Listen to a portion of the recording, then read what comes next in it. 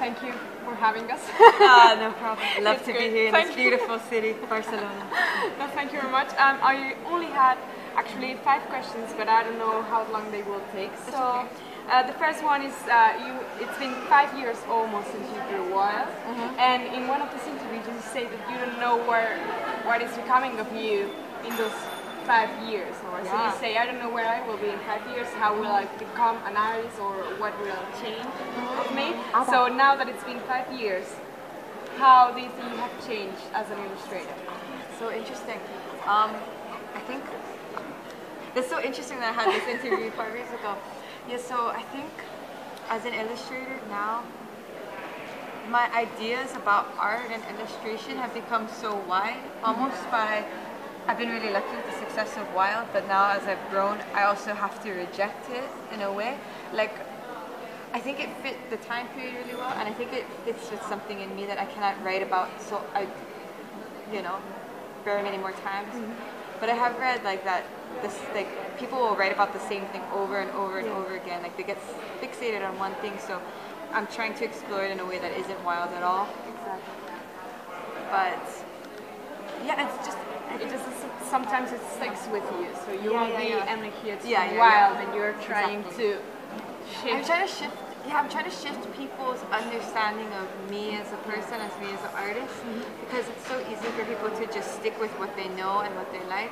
But I'm trying to grow all the time, and maybe I can't grow so far from wild, but. I'm I'm trying to. All right.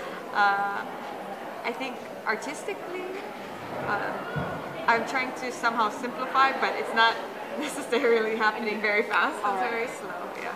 So how do you think now that you've done Treehouse? Do you think you're quite far from Wild, or as far as you would like to be in the sense of the shifting and uh, what, what is the difference between the illustration in Wild, for example, and how have you learned or have you learned during that process until you've made Treehouse? Yeah, so I think with both Wild and Treehouse, uh, I felt like I had to illustrate honestly. And I think Wild is a real close examination of a person, of a girl, and of a child who feels uh, a lot of injustice.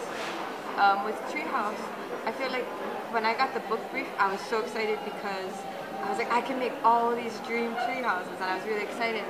But I felt that treehouses in a way, or I didn't know the stance the writer was coming from, and I've talked to her, and we were like, she's so lovely. But um, I kind of was reading it, and when I'm illustrating for another person, I have this natural kind of active rebellion. So my active rebellion for that was uh, the injustice of people who get to have tree houses and don't. Right. And so when I was illustrating that book, I felt like um, I wanted to make tree houses that nobody could build. Uh, and actually, as the end papers, these were all people I've asked, like my friends, um, about what tree houses they made. Yeah. And I had no friends that actually had a tree house because a tree house involves um, uh, supervision from an adult, land, a tree old and big enough to be able to use with uh, no repercussions of like the landlord yelling at you. Um, so, and the children all had like this idea of creating their own space. Like, um, this is one me, my, my sister, my sister made this one.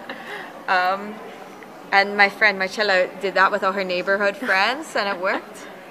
Uh, this is me and my friend Sabine ripping somebody else's trees to make it, and we got yelled at by, by an adult.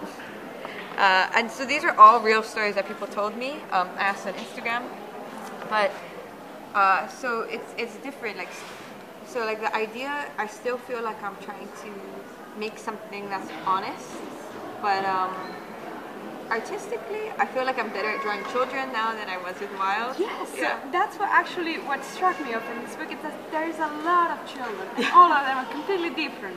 So that's actually it's very nice to see how everyone can feel, you know, identify with the kids in here. So the kids may see, I don't know, here we have, for example, Olga Yeah, yeah. and then Independent, one Miss Independent, and then this Exactly. boy who's an artist but he's irritated. This girl stepping on him, but Yeah. she means well. You know, it's it's kind of like um I think for books for children, if you want them to stick with the book, there has to be engagement. Exactly. And I think even like how I can see myself in a space like um like this one is so much fun because uh, you can see all the interactions, and I've snuck a few of my friends in there too.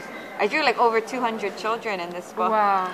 Uh, but let's see. This one, So I think for it to be exciting or to be able to be discussed with um, other children, like my ideal situation for this book is like a group of maybe three children reading it together. Yeah. And slowly like looking over everything and being like, oh no, there's a crocodile. Oh no, the dog's in the way. like, oh no, I think the dog will get eaten. I don't think the dog will Yes. get eaten.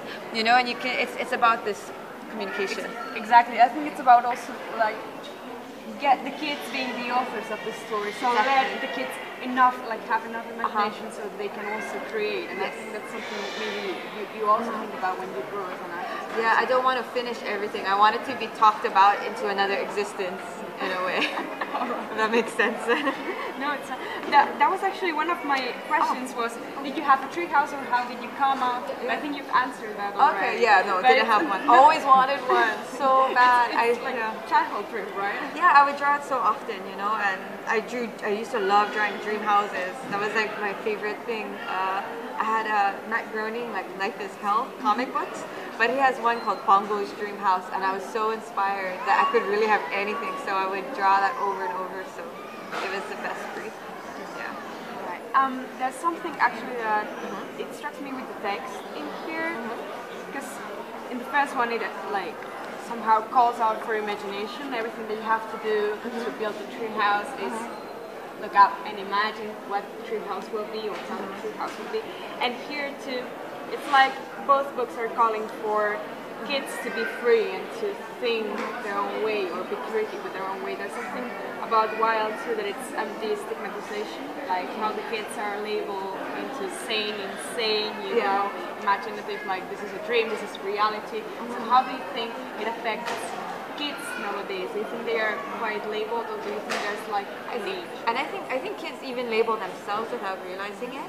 Like um like often when I go with Wild, uh, I always ask children like, oh, what do you think her name is? And they're like, I don't know, what is it? And I'm like, I didn't write it down. It doesn't exist in this world. I could be like your guess is as good as mine. I haven't ever had a name. And so you can see them. They still think it's weird, but then they kind of creep out, and they're like, uh, flower, Daisy. And like, okay. And someone's like, I'll call her crazy baby girl. And I was like, yeah, it's fine.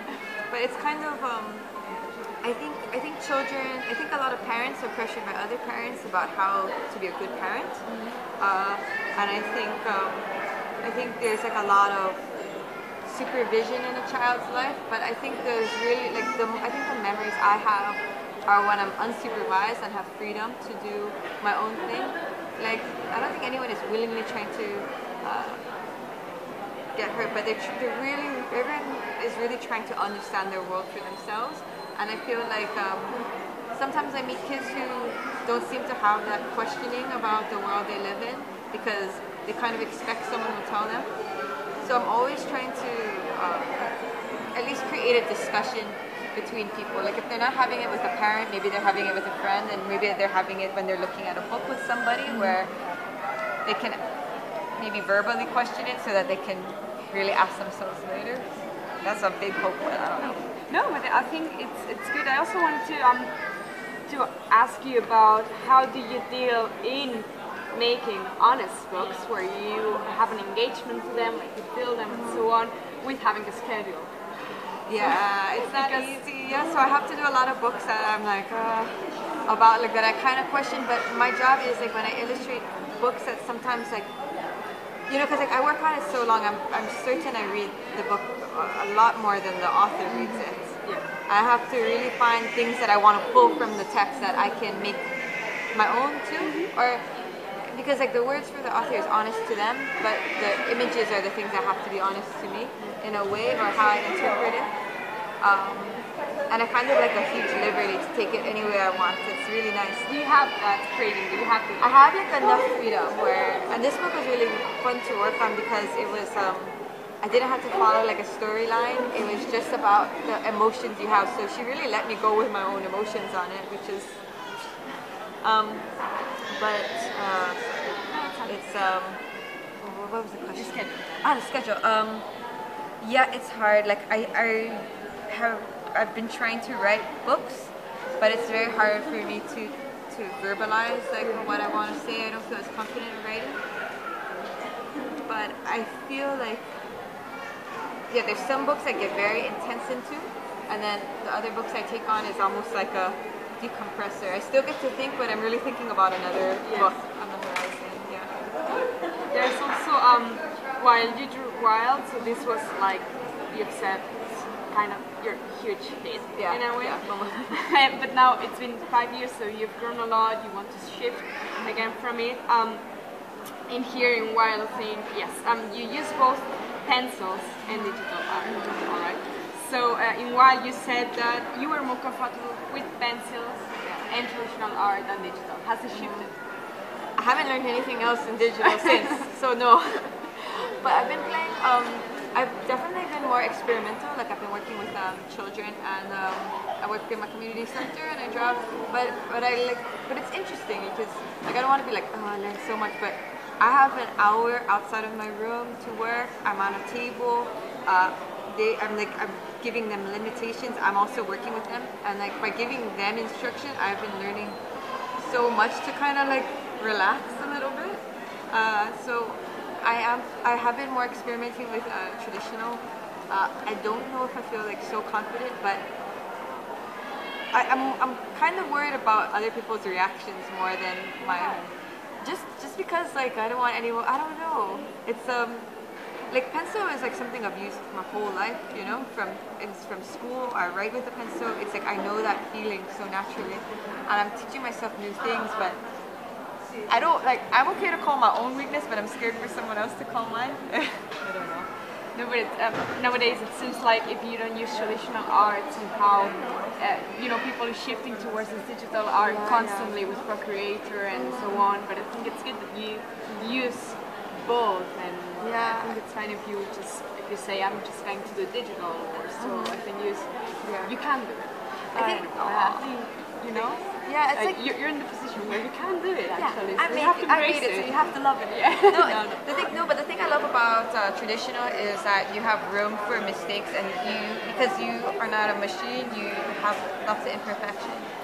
Um, with digital, I almost have no excuse to be imperfect because I can choose from millions of colors. Yes. I can. I have all the tools readily available. It already looks clean when you start. So it's kind of like um, it's the imperfections that give it the charm. So I kind of need both because I need something to make it look clean from digital. So, um, are you looking forward tomorrow for your conference and the? Uh, well, you're going to be to be playing with children. I mean, playing Yeah. like Yeah, yeah, yeah, we're doing- So yeah, yeah, this is yeah. something that you do on a daily basis. Yeah, I, I, I it feeds my practice a lot. Uh, not necessarily everyone's like, oh, you must get so many ideas from children. It's like, actually not. Kids are crazy. They're really abstract thinkers. Sometimes it's like above me. Have you ever worked with Spanish kids or like that? I've worked with some in Bilbao and they were Alright. like pretty crazy. Now you can compare. Let's Yeah, see how. yeah, exactly. Battle between them. Right. So, um, thank you, Emily, for for having the talk with us and. Very good luck. It's been a pleasure for us actually, like publishing this book, and I'm so happy you guys got this one. This is like Yeah. I've, I've, I've, this is like the first one I made in a long time that I'm really like proud of. I think yeah for like years yeah. Thank you. So, thank you very much. Oh, thank you. Thank you too.